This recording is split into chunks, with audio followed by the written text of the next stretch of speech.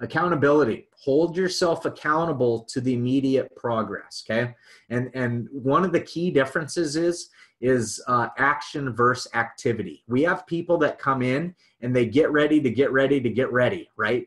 They're they're getting organized. They're getting their office clean. They're learning about new studies. They're printing out this. They're watching that youtube video. None of that is truly directly building their business. It might be building their belief but that's activity not action to me action is sharing the abc prime time with somebody new.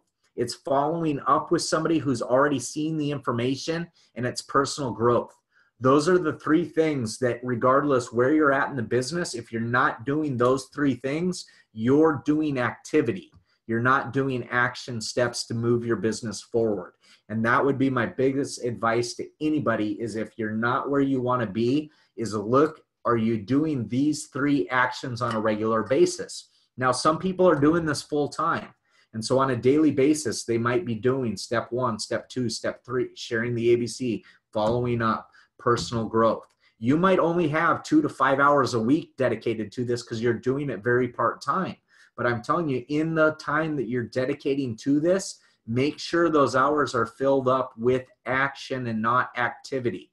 You can do activity on the hours that you know you can't get a hold of people, or maybe um, you're you're not in the right mindset, and and you know a YouTube video is going to pump you back up you know, something like that. But don't make that your full time uh, portion of doing this business. You need to dedicate the majority of your time to those three action steps.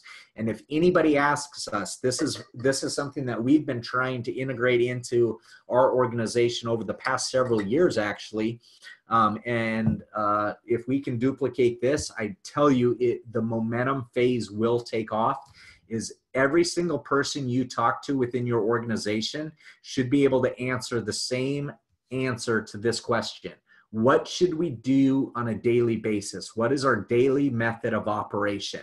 And it's these three things. Sharing the video following up with somebody who's already seen the information and personal growth. If your organization is doing those three things on a consistent and a regular basis you will see things explode because you'll get it in front of enough people and take them through enough parts of the process to find other people that see it like you see it. Okay, the very bottom portion of this, the bottom right, is talking about if you're ready to commit. We've we've now spent, you guys, we've gone an hour and 15 minutes. You can probably go through some of these steps a little bit faster with people, but now we want to take them to where are you? Are you ready to commit to this as a business. Because if you're going to treat this like a business, there's very specific things that I would suggest that you do. If you want to treat it like a hobby, it'll pay like a hobby. If you want to treat it like a part time job, it'll probably pay like a part time job. If you want to treat this like a multi million dollar business, here's what you need to be ready to commit to and walk them through the process of enrolling.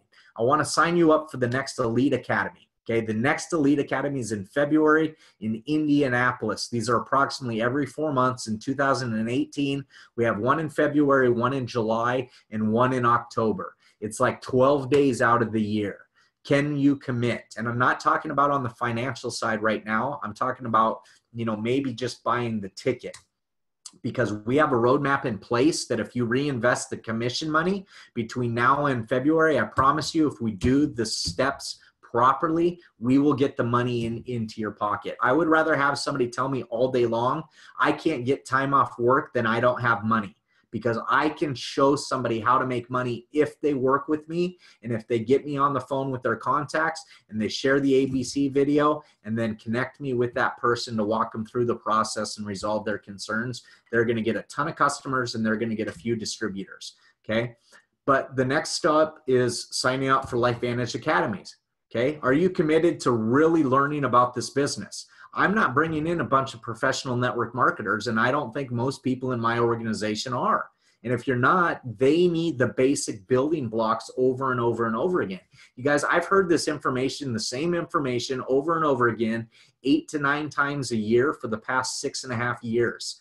I could repeat it and I do. I train it. This is what I'm training you on. This is what I train at LVAs. But I still show up to every single Life LifeVantage Academy. If I'm not training it, I show up in my market because even though I know the information, there might be that nugget or that inspiration somebody else provides. But bigger than that, if my group doesn't see me placing value and importance and taking time out to learn that on a consistent basis, why would they place it? Okay, never expect anybody in your organization to do things that you're not willing to do. So make that a priority that regardless if you don't even take one nugget out of it, that you're there and you're showing up because you're placing importance and you want your team there because they will learn things from it and they will learn how to do this business right.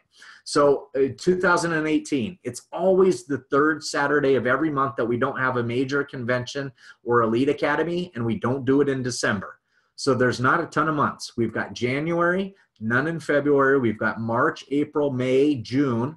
There's not one in July because there's an elite academy. There's August, September. There's not one in October, and there's one in, in November. So I think that's like eight asking somebody to commit to eight Saturdays out of 52 is not a huge deal if they want to grow a multi-million dollar business and and put you know two thousand or five thousand dollars residually in their pocket every month. That's not a huge expectation. And then setting up a couple different home meetings. Okay, we've talked about the invite, we've talked about databasing. They haven't done it yet, so we've got to set up times. And this goes back even to that very first page where we talked about how fast you want your return on investment by. Okay. If they're telling you they want their return on investment this month, they better set up two things on page 10, two different times that you can have meetings. It might be an in home meeting, it might be a webinar, it might be a conference call, whatever it is, they need to establish two times. So then when they're inviting, and, and somebody says, Well, I'm not free Thursday, uh, but you can come back and say, "Well, that's totally cool. I'm actually I'm going to have the same thing going on on Saturday. You know, do you have 45 minutes to an hour on Saturday?" And, and then you have two times to invite them to while you're going through that first process.